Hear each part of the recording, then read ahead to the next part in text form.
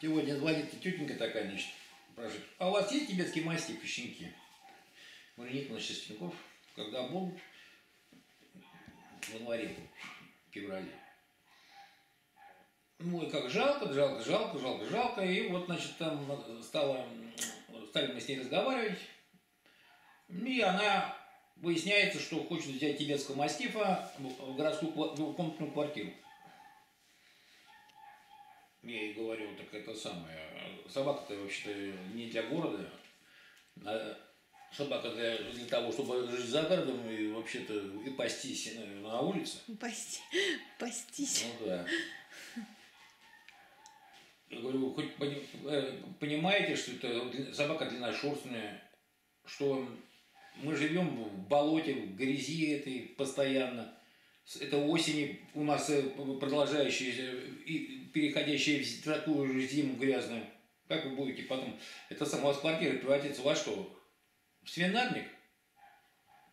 Потому что у, у, у людей, у которых такие собаки длинношерстные, это, э, по крайней мере, эта э, квартира должна быть вся вот, ну, полтора метра кафеля от пола чтобы это можно было легко протирать и убирать. Потому что грязная собака, когда пройдет вдоль стены, это все, стена это будет черная.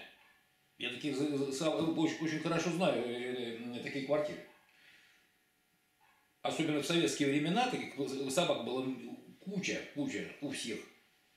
И Ньюфаундленда были, и кавказцев держали в квартирах, и э, этих самых рельтерьеров, и овчарок.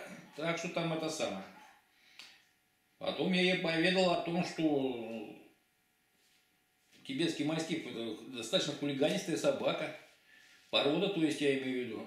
Не знаю там у кого как, у кого как, у кого там, может они там по тропинкам ходят, не знаю, разговаривают э, с хозяином, э, потому что пишут э, такую есть в этом самом в интернете, что у нормального человека уши в трубочку заворачиваются. Значит, что там еще? Ну, то есть тетенька, ну, женщина не это самое, не представляла вообще. Как, ну, что такое собака крупная и вообще Я говорю, длинношерстная собака в городе. Не только это. Значит, тибетский мастиф, он большой любитель, во-первых, погрызть, порвать, похулиганить, любую книжку разорвать в хлам, а если одежда валяется, он эту одежду тоже раздерет на такие тонкие полосочки. Так раздерет и половину сожрет еще. Если не сдохнет, конечно, потом от э, заворота. Ну вот, что еще? А, значит, она как бы говорит, я хочу его зимой держать, значит, в квартире, а летом э, самое, мы будем уезжать на дачу. Опять же, а, ну, представляете, что такое это самое э, на даче? У вас там посадки какие-то есть, кусты есть, там розы, цветочки, яблони, деревья. Это все будет подтверждаться вообще-то, может повернуть э, тому, что его это все собака сгрызет и перекусит. Лично у нас вот 7 тибетских мастифов. И я хорошо знаю, обоссут, потом выкопают и сгрызут. Во-вторых, во-вторых, они большие любители покопать, покопать, подкопаться, под забор могут. Во-вторых, тибетский мастиф любитель, он вообще такой свободный любитель. Перепрыгнуть забор, да, тоже вот, запросто. Свалить куда-нибудь, это вот любимое дело. Ну, в общем, опять же, речь-то о чем, что человека не главного-то не читает. Вот он, это же тоже нетрудно информацию найти, она есть.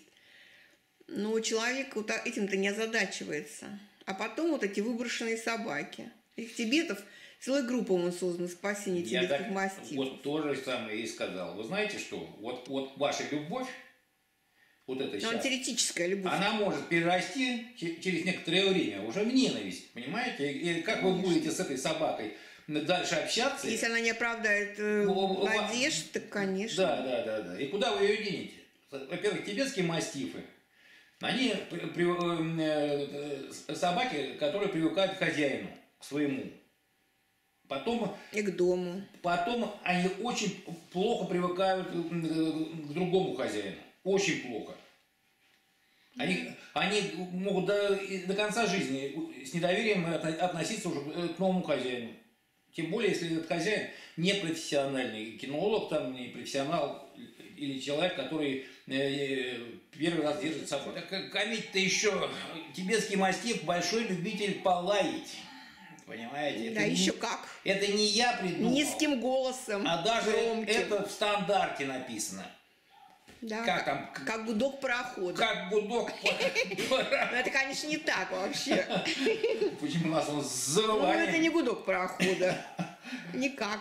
Вот прикиньте, этот гудок парохода будет в квартире орать. Да, это 9 этажей спокойно. Это у нас Ну, на территории, и то слышно далеко. Конечно. А, кстати, Если тибетский мастиф будет лаять в квартире, это весь дом вздрогнет, а не только соседи сверху и снизу. А он лает. И фу, там не поможет. Нет, не поможет. Во-вторых, я э, и говорю, вот вы уходите, вы будете уходить на работу.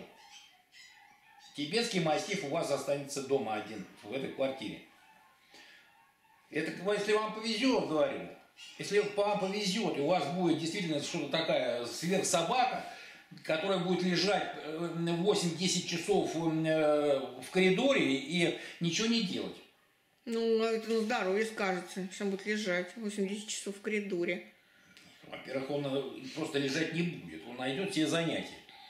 В виде дивана, в виде табуретки, он просто задумается и что-нибудь будет грызть. Нет, ну это тогда, ну просто как бы, э, если собака такая, э, не интересуешься ничем, это что же как бы ничего хорошего, значит, что-то с ней не так явно.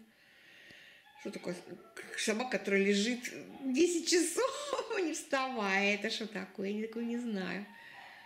Ну почему? У нас же были овчарки. Они же э, э, э, и оставались и одни. Ну, оставались одни, но они же не лежали 10 часов не вставая, как ты Ну говоришь. как?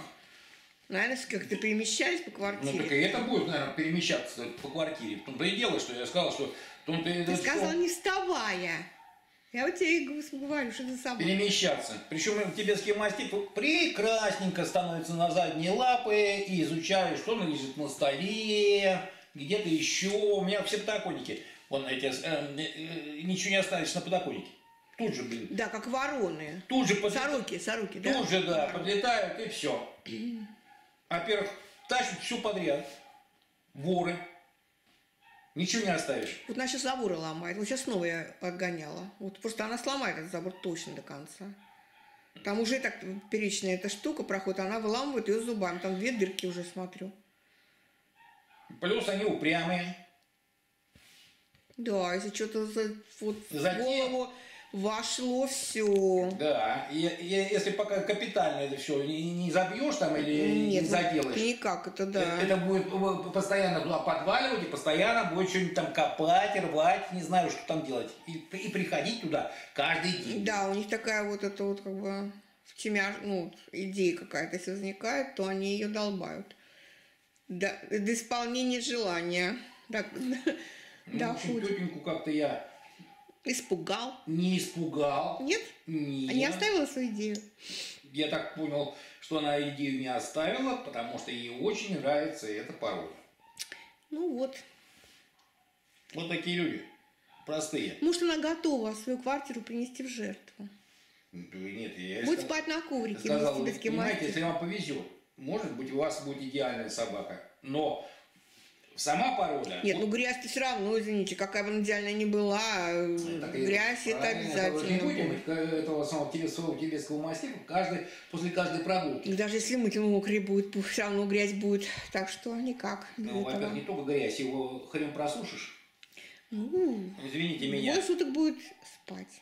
И гулять не хотеть. Да, а потом снова. Да, вы А уснули. потом снова спать. Нет, ну это, блин, очень тяжело. Ну вот, говорю, вот такой бред, ну чего, вот, вот, вот. Есть столько пород, которые, пожалуйста, для Конечно, дома, конечно. заводи. Конечно. Или уж если ты хочешь, ну, менять тогда город на, на это, ну, вот, на загородную жизнь. Кстати, так люди и делают. Но, Да. но видишь, это так люди делают, которые хотят заниматься собаками, а не просто там иметь одну собаку. Ну, слушай, это другой стиль жизни просто уже. Валить куда-то там, понимаешь, в деревню или за город. Нет, за город, деревню-то не надо. Деревню не каждый готов валить. Ну вот, Такие, впечатления да, у нас, собаководов. у нас таких Мысли вслух. звонков бывает и не, не один звонок в день. Нет, просто, ну, действительно, одно и то же. Вот толдычишь, а толку все равно никакого. Да. Вот каждому, вот, вот приезжает, вот, или при, звонит человек, все одно и то же. Да. Просто по одному сценарию рассказываю. Вот рассказываю всегда одно и то же. Одно и то же рассказываю. Всем. Ничего нового. Никогда не уга... ну, вот не вр- ну, стараемся ни- ничего не придумывать, не врать, не уговаривать, наоборот. Нет, а чего, а, а- а чего врать-то? Зачем врать? Не, ну некоторые наоборот, типа, чтобы только купили. Так врут. Правильно. Не некоторые, а большинство. Ну, мы же не считали большинство там или нет. Ну, не знаю, большинство или не большинство, ну, мы же не знаем. Ну ладно, все. До Да. следующего эпизода. Пока.